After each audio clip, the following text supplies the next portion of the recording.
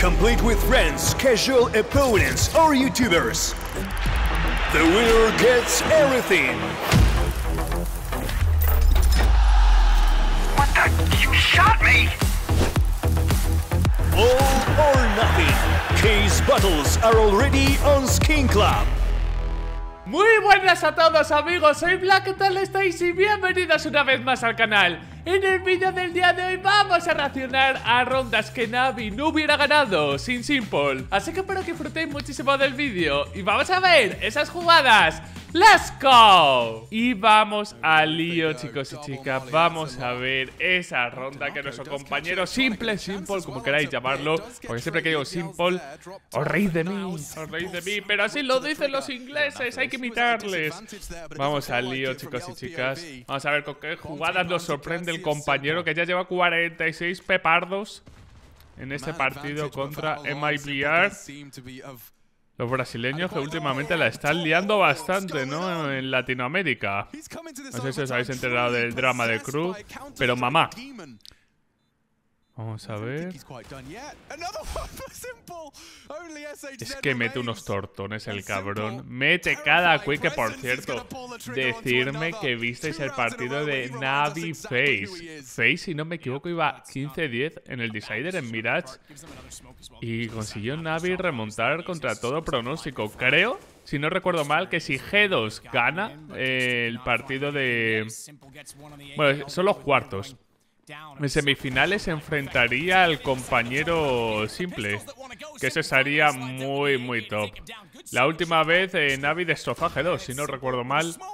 Por lo tanto, me encantaría volver a verlo, tío. Mones y simple, eso va a ser... Eh, va a ser... estoy viendo el clip y me estoy poniendo tontorrón. Yo pienso que va a ser como una rivalidad, ¿no? Que se va a ver durante muchísimos, muchísimos años. Vamos a ver, Nico que está a un excelente nivel, ¿eh? Yo creo que Nico está más motivado que nunca con este roster. Yo creo que aquí Nico... De hecho, el otro día le hicieron una entrevista y le dijeron en plan... Eh, como si él quiere ser el mejor jugador del mundo. Uf, ¡Qué tortona el Sanji, tío!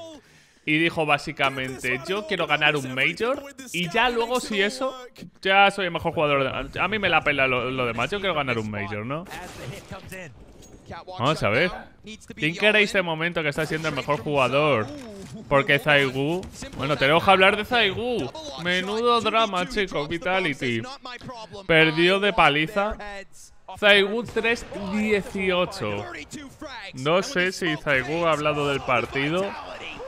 Pero mamá, la gente con simple, bueno, un espectáculo visual, ¿no? Y encima si estás en directo, la gente aplaude. Apex se quiere cagar en todo. Apex ahí ya estaba diciendo, me cago en 10.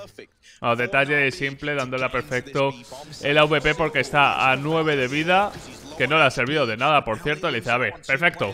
Déjame a mí el AVP, que yo soy el rey, señor, con este arma.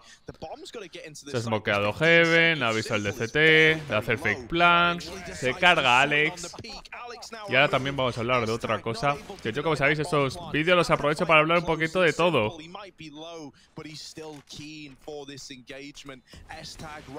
Digo, le ha hecho un fake jump o algo así, perfecto. Tenemos que hablar de Smuya, ¿no? Que estaba en el aeropuerto Smuya y recibió un mensaje. Y ese mensaje decía, Smuya, bencheado.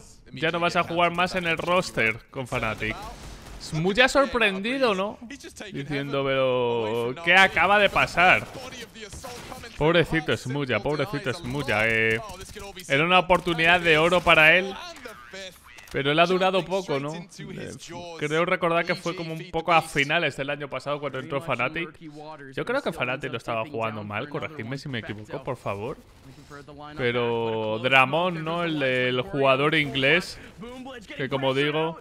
Los aeropuertos son peligrosos, chicos y chicas. Los aeropuertos son muy, muy peligrosos.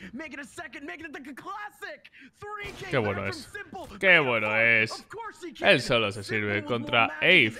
¿Ese equipo no le conozco? ¿De dónde es Ave? Parecía del este, ¿no? Parecía del este. ¿Cómo está? ¿5-7? Fairy Tail. Muy, muy bonita esta Phase 7. Hablando de Face, ¿no? Hablando de Face. Le van a dejar coger el AK. Le van a dejar coger el AK. Pues este es un error, chavales.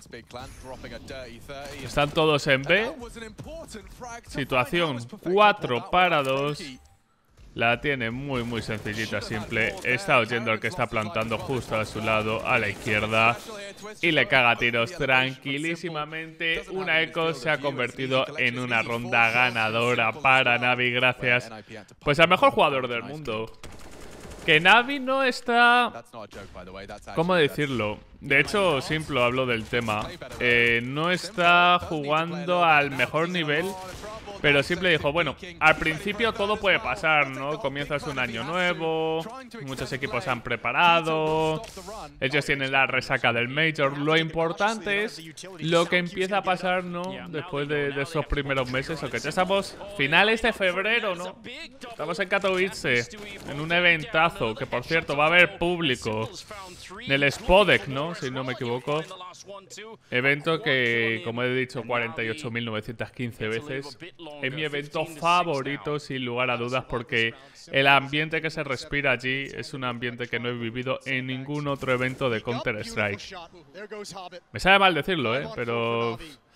En la Katowice lo he pasado mejor que en algunos Majors. Con eso digo todo, ¿no? Como Colonia también, Colón. Un evento maravilloso. Que si podéis ir, chicos y chicas.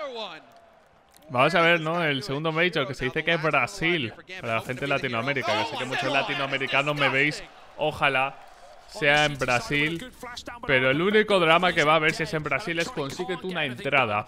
O sea, yo creo que va a ser el evento en el cual se van a vender eh, las entradas más rápidas de toda la historia. No me cabe ningún tipo de duda que va a ser ese evento. Aquí simple un poquito jugando al Splinter Cell, ¿no? Precioso. De la gente 007, pero no por las kills sino por cómo se mueve. ya limpian el site, que no lo habían ni limpiado el site. O sea, llega a estar alguien en el site, imagínate, ¿no? Pues ese tipo de movimientos es lo que hace Simple. Muy, muy bien. ¿Veis? Dice Simple. Lo dice Simple. Dice Simple. Y cada vez que digo Simple lo reí de mí. Ah, con la Scout también. Es gustoso con la Scout. Muy joder, Fallen. ¡Ay! The Last Dance de Fallen. ¿Cómo creéis que va a salir eso? Yo personalmente... También me duele decirlo, no confío mucho, por no decir nada, que en eso... Vamos a ver, vamos a ver qué puede conseguir el Tito Fallen. Pero no sé, me parece una apuesta como la que hizo Miswell, ¿no? En su momento con Movistar Riders, un jugador que puede aspirar a equipos mayores y tal. Y decidió apostar por el talento de casa, ¿no? Y también, evidentemente, de jugadores con los que ha compartido equipo y muy, muy buenos momentos. Pero me entendéis, ¿no? Fallen, yo creo que estaba en un nivel que el resto no están. Y toca ver, toca ver. The Last Bueno, que ya tiene nombre, The Last Stand. Imperial, creo que se llamaba el equipo. Ya le han puesto nombre, porque antes era pues eso, ¿no? Haciendo un homenaje a nuestro querido Michael Jordan, que se pasó este fin de semana por Cleveland, abrazando a Luquita Doncic, que le vi. Muy, muy bueno Michael Jordan. En fin, chicos y chicas, espero de corazón que os haya gustado este vídeo, espero que hayáis disfrutado. Si ha sido así, reventad el botón de like, no olvidéis suscribiros y nos vemos mañana con mucho más. Un saludo y hasta la próxima. Chao, chao.